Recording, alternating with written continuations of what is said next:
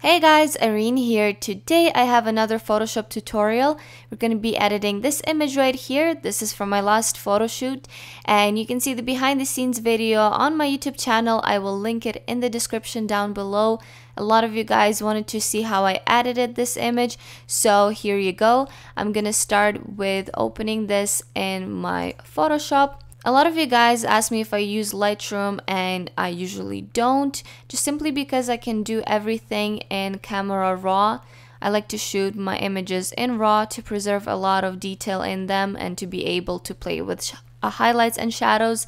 So I'm usually opening it in Camera Raw plugin straight away and it's the first step to pretty much all of my editing. I shot this a little bit overexposed uh, so I'm gonna lower the exposure here. I'm gonna bump up the contrast. With contrast, you kind of start losing the detail in the shadow. So I like to go and bump those up just a little bit. And because I was shooting this almost direct sunlight, I'm just gonna lower the highlights just a little bit. Let's actually bring the shadows a little bit as well and let's put a little bit of clarity here. Clarity just helps with the sharpness and contrast. I'm gonna also push my vibrance up just a little bit. Let's make this a little bit more yellow. I always like to back it up and kind of see what we're getting here to see if I need to adjust anything. Um, let's see this is before and after with just camera raw. I think I like it so I'm just gonna go ahead and open the image so now I'm gonna go ahead and choose my crop tool. I kind of reset the crop. I don't like to set any specific crops for my image. Uh, I like to make it just a little bit more square-ish. I really like that medium format type of look. So I'm just gonna make it a little bit wider and I'm gonna try to position the model in the very middle. So now you guys have seen me use this trick multiple times. I'm gonna take this marquee tool. I'm gonna select right over here uh, be careful. As you can see I'm not selecting the model here because I do not want to stretch her. I'm only going to be stretching this side right here. So now after you selected it I'm gonna right click free transform right click distort and I'm just gonna drag this to the side right here. And just apply the transformation and deselect the uh, selection. So now that I am happy with the crop I'm gonna go ahead and duplicate the layer. So I'm gonna go into filter and camera raw filter. So it's bringing us back to the camera raw plugin. I'm gonna go over here to the lens correction.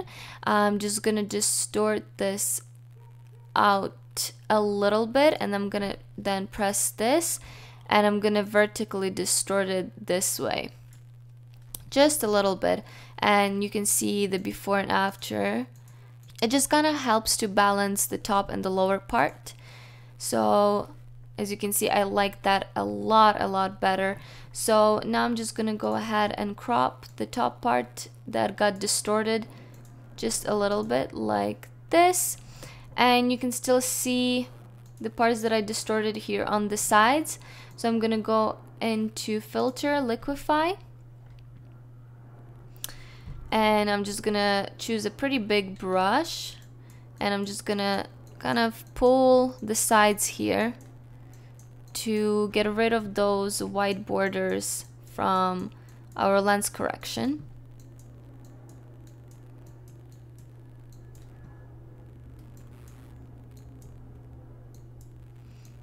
This is why I like shooting wide open is because I can do this very freely because the background is so blurry that um, I can easily just stretch it out with um, my liquify tool and not worry. So while we are here, I'm just gonna do a few other things. So as you can see right here, uh, I have a little bit of the fabric bunching up. So I'm just gonna simply pull this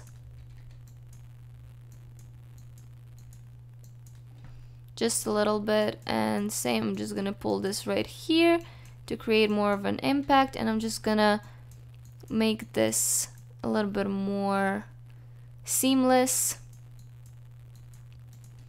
Okay that looks great and I'm gonna also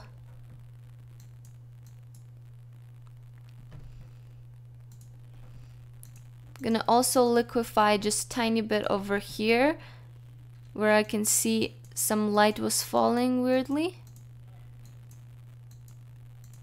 I'm all about the details. Alright, so I'm done with liquefying, so I'm gonna go ahead and merge my layers as usual. I'm gonna go ahead and duplicate the layer again, right click on your background, duplicate layer, and I'm gonna go ahead and start with the skin retouch. Let's zoom you guys in on her skin. And I like to use patch tool. If you do not have your patch tool selected, it's usually on the healing brush. So you can just right click on that and select your patch tool. And usually I like to start with the opacity at 75. So I'm gonna just go ahead and start editing the skin. Pretty much all I'm doing is I'm selecting the skin with the blemish or unevenness and I'm dragging it to the spot where the skin is clear. And I'm using my tablet. This is Wacom Intuos Pen and Touch. And with the tablet is just so, so easy. I absolutely love this tablet. I have talked about this so many times. I highly recommend it. I leave the link to it in the description down below.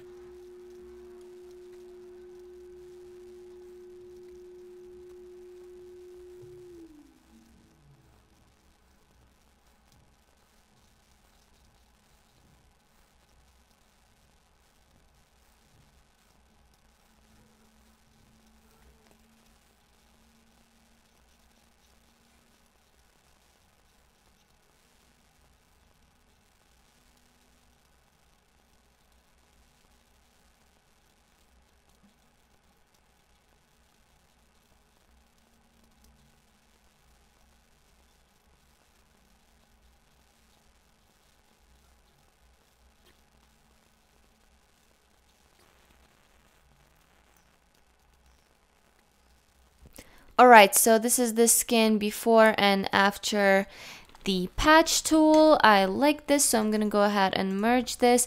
Uh, now I'm just to go ahead and correct the color a little bit. As you can see, her face looks lighter than her body, mostly because she's getting more light on her face than her body because it's more sideways and the face is more turned towards the sunlight. So I'm to go ahead and create an empty layer and I'm gonna change it to color. I'm gonna choose this color right here on her forehead and I'm just gonna paint this on top of her arm and as you can see it's kind of changing the color and makes it match her face a little bit more so this is before and after on that. I'm gonna go ahead and merge the layers as I'm happy with the result. Now I'm gonna do some color grading. So I'm gonna go ahead into my adjustment layers and choose the gradient map.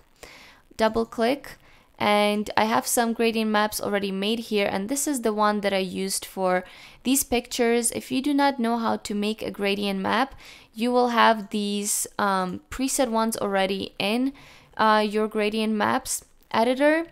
So you can just choose one that has two colors. This one right here on the left is going to be your shadows and this one on the right is going to be your highlights. So all you can do is just right click on this little square and it's going to take you to the color picker. You can then go ahead and pick any color right here.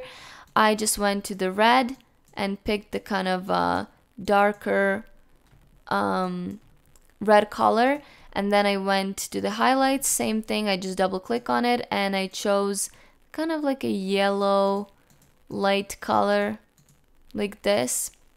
Um, if you want to know the exact colors that I use the dark one is right here 470101 and the yellow one is F2D654 I'm gonna go ahead and press OK to apply the gradient map and then I'm gonna change it to multiply. And on my opacity I'm gonna go pretty low probably yeah to like 29 or even less maybe 28 so I'm gonna leave it at that. I'm gonna go back to my background layer and do another adjustment layer. This time I'm gonna check uh, selective color. So on my reds I want them to be a little bit darker a little bit more red. A little bit more darker. Now on the yellows let's make them more yellow. That's perfect. Uh, whites I'm gonna make them a little bit brighter. It's gonna make everything pop a little bit more. Let's take neutrals and make it a little bit more yellow. Just one over here and then let's go back to reds. I want to make it a little bit more red and darker just to make it look a little bit more vibrant. So I'm happy with this.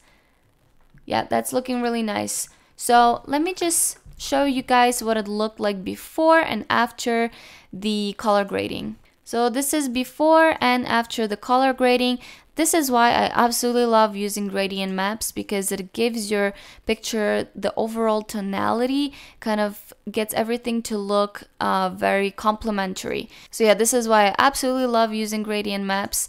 I'm gonna go ahead and merge these. There's not much left to do here, but I'm gonna just do a little bit of dodge and burn on this image. I have already my presets made here for highlight and shadow, but I'm going to show you guys really quickly how I do that. So I'm going to go ahead and create adjustment layer in curves, and I'm going to just drag this up like that, and then close it. And then all I'm going to do is press Control I to invert my layer. Now I can pick up the brush and I can brush on that highlight onto whatever spots I want. So I always use a rounded soft brush and I just kind of lightly go ahead and make the areas that are already highlighted even more highlighted. I love to do it on the eyes first because I think that's one of the things that people are drawn to.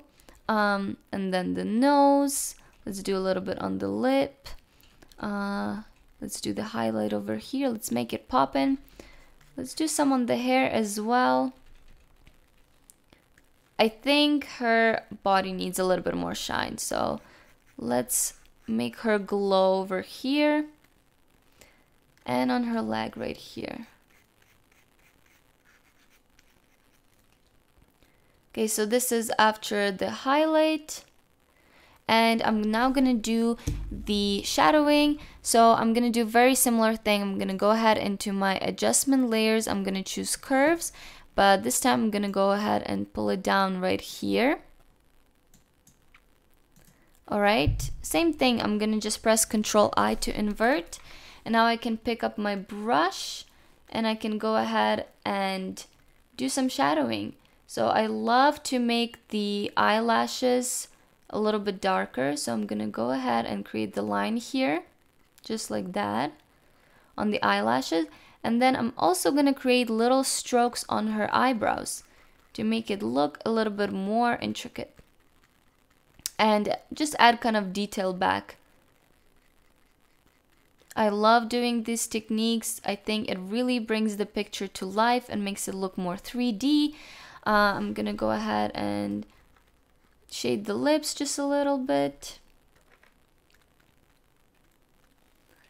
And I don't think I need to do anything else here really because the, pic the picture is already pretty contrasty on its own. So um, let me actually show you what it looked like before and after the dodge and burn. I didn't do much here, so it's not going to be a big difference, but here is a little bit of a difference after dodge and burn. So now the final thing that I'm gonna do is I'm gonna open it in camera raw filter again and I want to add just a little bit more of the yellow tone here and maybe a little bit more of the clarity just like a tiny bit. Let's see this is before and after. Let's do a little bit more vibrance. All right that looks great and now I have another action here for sharpening, but I'm going to show you guys really quick how I do it. So I'm going to go ahead and duplicate the layer.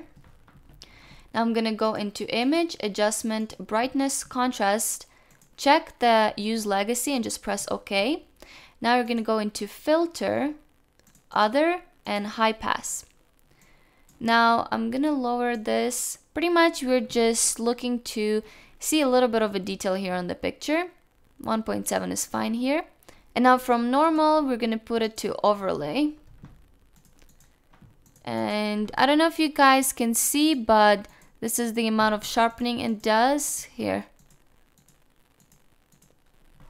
So I do not like too much of a sharpening effect, but it's really nice when uploading to social media because it makes the picture stand out a little bit more. So I'm gonna go ahead and save that. Let's go ahead and save this image now. I'm gonna show you guys the settings that I use for the social media. So I'm gonna go ahead and to File, Export, Save for Web Legacy.